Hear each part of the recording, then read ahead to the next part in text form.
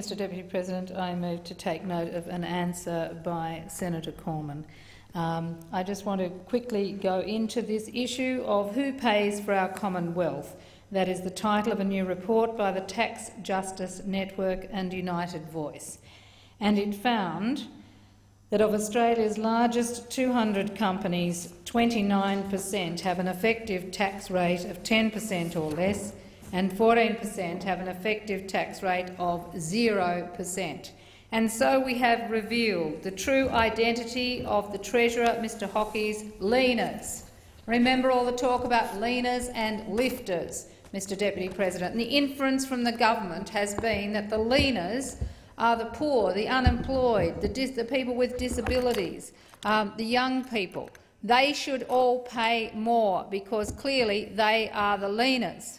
And yet what we find is the real leaners in Australian society are the multinational corporations who operate here and Australian companies operating here who are avoiding tax by taking their uh, affairs offshore through subsidiaries and hiding in tax havens. They are the leaners and they are the ones that the government should be going after in order to improve Australia's revenue stream, not trying to go even harder on people who have so little. And that is clearly what has come out of the report. And that's why I've been asking Senator Cormann these questions, and it's disgraceful that he is refusing to answer them. First of all, 3,000 people have been sacked from the tax office, and these are the very people who should be doing the work to get this money back from the tax avoiders, and particularly those who have been involved in transfer pricing. And since they've been sacked or given redundancy,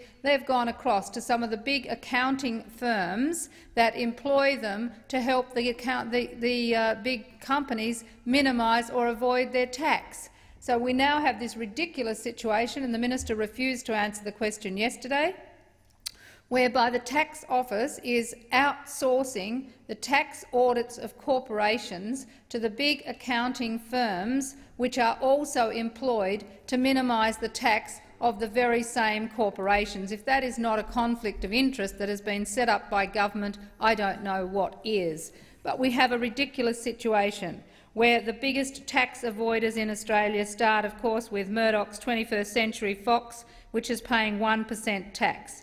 But the top tax corporate tax avoiders are Singapore Telco, BHP Billiton, Rio Tinto, National Australia Bank, Commonwealth Bank, Westfield, QBE, ANZ, GPT Group. And these are the people who lecture the community about why they shouldn't have to pay a carbon price, why they shouldn't have to pay uh, the appropriate uh, tax in Australia whilst supporting the government to go after co-payments for going to the doctor, while telling the unemployed they have to live on six months for nothing, while telling single parents that they can't be supported. It's utterly disgraceful, and the minister is not going to get away with it, neither is the Treasurer going to the G20 saying that whilst 36 other countries have been early adopters of information sharing to get around and avoid and deal with the tax havens, Australia has asked for a delay of another year so business can adjust to the fact that the world is finally getting serious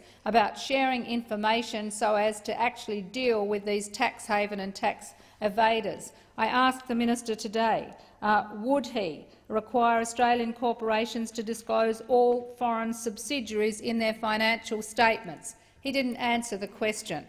I asked him today about the fact that you've got this conflict of interest with the tax office's experienced staff having now gone to these accounting firms, and did he think that that exposed a risk to Commonwealth revenue? No, he said. He also today said that there were enough staff and enough technology to do the job properly. So if that is the case, why is it not happening? Why aren't the tax avoiders being taken to court? Why aren't they being faced with court and faced with jail?